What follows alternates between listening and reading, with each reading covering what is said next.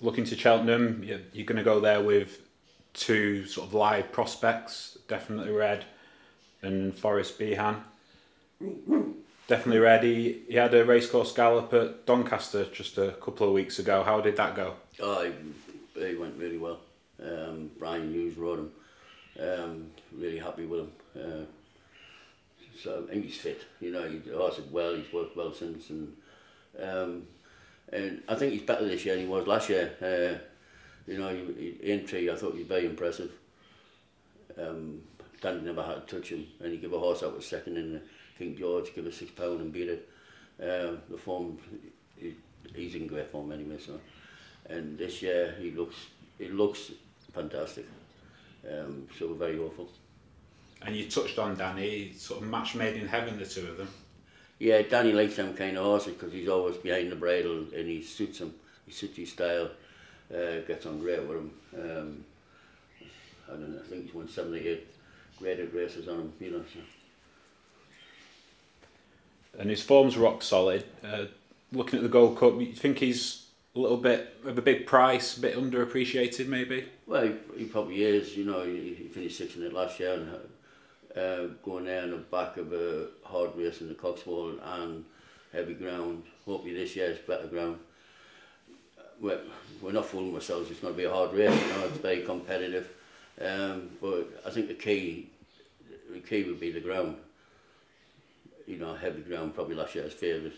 Last year's winner probably take all the beating and it was, it was good, good soft ground. We'll see. And you think, granted those conditions, there's a chance he could improve on that sixth place? Yeah, I think he's better than last year. He's definitely in better form last year. And the last Gold Cup winner for the North wasn't trained too far from here. Yeah, Peter so, Bowman. Yeah, yeah so be nice, nice to have another. That'd be lovely. It'd be fantastic. Um, we just basically want to um, go there with a live chance and hopefully run his race and uh, you know finish in the first four. You know and he's lad and he does does a great job on him. He, he rides him out every day. He looks after him. Um, it's just nice that we've got we got him, you know. And another horse for Phil and Julie Martin, Forest Bihan. He's earmarked for the festival. Yeah, well, he's a bit different. He's a bit more quirky. Um, he, he needs to go left-handed. He needs good ground or quick ground. Um, uh, obviously he's in the champion chase and he'll have an entry for the handicap, so we'll see how the champion chase cuts up.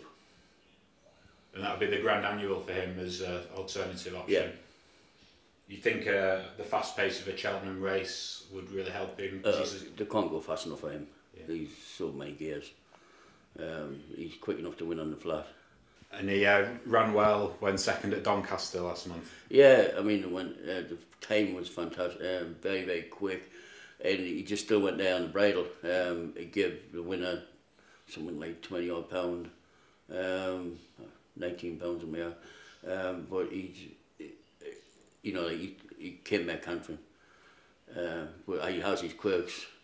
Whether it was a weight that beat him or he just didn't want to go by, we're not we're not sure. But um, we're we made we're not, we're talking about changing a bit of headgear, so we'll see. What might you go for? Uh, don't know, might work with pair visors on or something. Um, I just, I, you know, he's had his wind done. We might put a tongue strap on him, see if that makes a difference. But like the speed of the race won't bother him. He's so quick. And he'll go straight there. Each one straight there, yeah.